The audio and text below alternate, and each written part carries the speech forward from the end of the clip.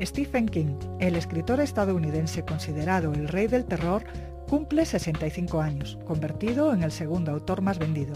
En España se publicarán en octubre El viento por la cerradura, la última novela de su saga La Torre Oscura.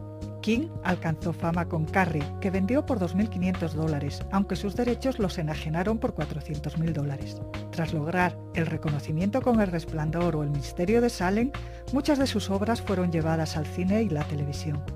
Profesor de inglés, que vivió en un remolque, para sobrevivir escribió historias cortas publicadas en revistas masculinas. Ganador de los premios Henry y National Book, quien abandonó sus adicciones a la cerveza, cigarrillos o cocaína con la ayuda de su familia y amigos.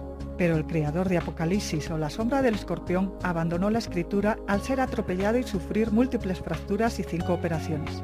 Cuando retomó la pluma con Mientras escribo, reflejó dicha experiencia en Buick 8, Un coche perverso o Misery, coautor del musical gótico Ghost Brothers, King, que publicó bajo los seudónimos Richard Bachman y John Sweeten, es padre del escritor Joe Hill y esposo de la autora Tabitha King.